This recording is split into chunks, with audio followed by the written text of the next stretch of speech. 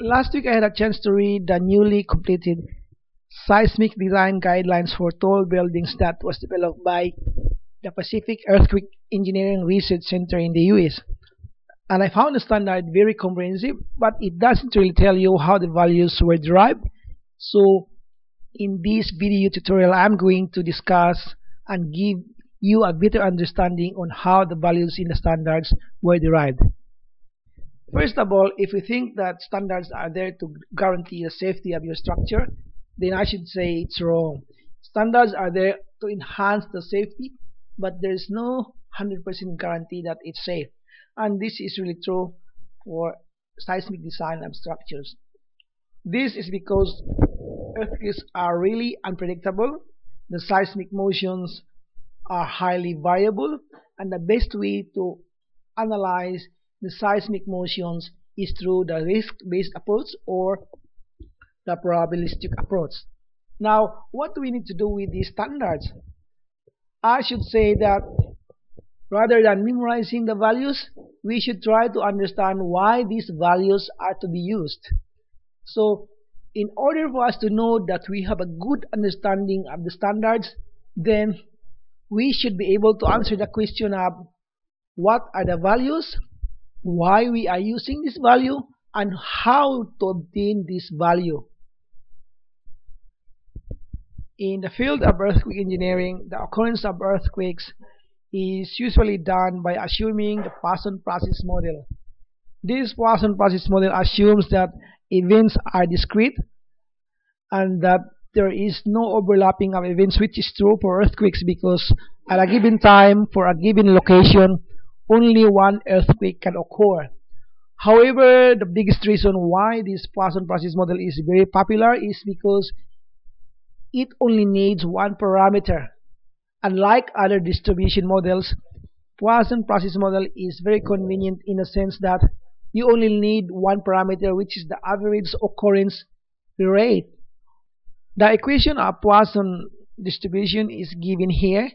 This equation means that that the probability that there are n events in x time is given in this expression. The n here means the number of events, x is the life of the structure, and t is the recurrence period or return period of earthquake. Then the probability that there is no event can be calculated by assuming n is equal to 0 so if you substitute n here, then this expression will be simplified into this one, which is a very convenient equation. Now, the probability that there is at least one event is given by this equation 1 minus the probability that there is no event or this equation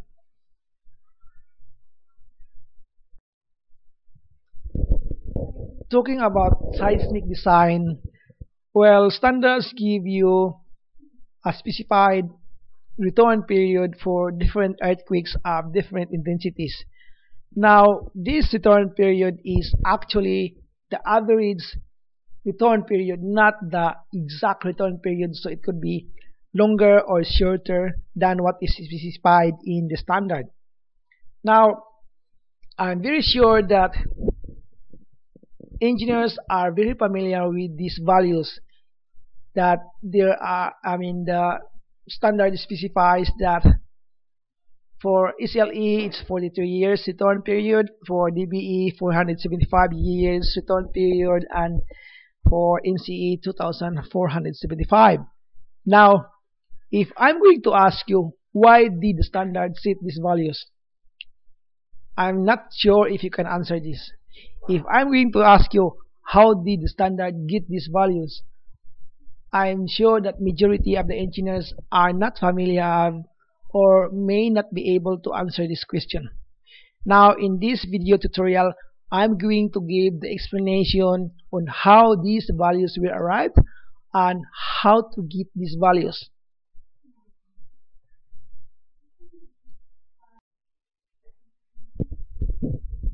In this video tutorial I'm going to derive and explain to you how these 475 years were obtained. Actually, the intention of the, of the standard in giving this 475 years return period is to predict a seismic intensity with a 10% chance of being exceeded in 50 years. Then using the Poisson model that I explained to you in the earlier slides, um, the probability that there is no event is given in this equation wherein x is the life of structure and t is the average recurrence or return period. And since the probability of exceedance is equal to 1 minus probability of no exceedance, then the probability of exceedance is given in this equation. Now, talking about 10% chance of being exceeded, this means that the probability of exceedance is 0.10, which is 10%. And then the life of the structures is x, which is 50 years. So the equation becomes this one. And if you observe, the only remaining unknown is the t, which is the recurrence period or return period. Then, if you solve t, then you will get 475 years and this is how to obtain this 475 years return period in layman's term the probability of the exceedance is called as risk and that the reliability is a function of risk given in this equation. If you have an earthquake with a return period of 475 years then the equation is given here in if you want the risk and if you want the reliability then this is the equation. What this means is that if you designate the life of your structure then you can calculate the reliability and subsequently you can calculate the risk. Now the equation here is actually my favorite because this is the general equation for seismic hazard. There are three parameters here the risk the life of the structure and the return period. Or if you want the reliability approach then reliability and then x is the life of the structure and t is the um, return period. What this means is that if you can specify any two parameters then you can calculate the other or the third parameter.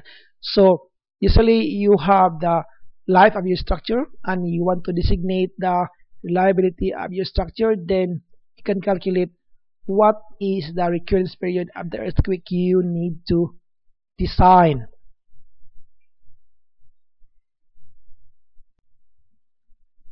Going back to the seismic hazard analysis module of FRIM-CE if I'm going to analyze the seismic hazard of Ormoc City for example and what you see is, is this curve and this curve. Well this curve is for the peak ground acceleration and this curve is for the peak ground velocity.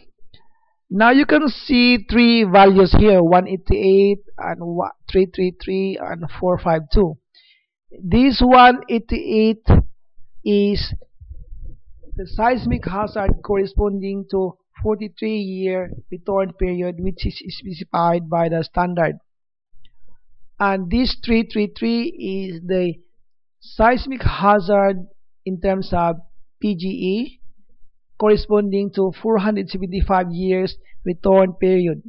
And this 452 is the seismic hazard corresponding to 2450 year return period which is also the um, I mean specified by standard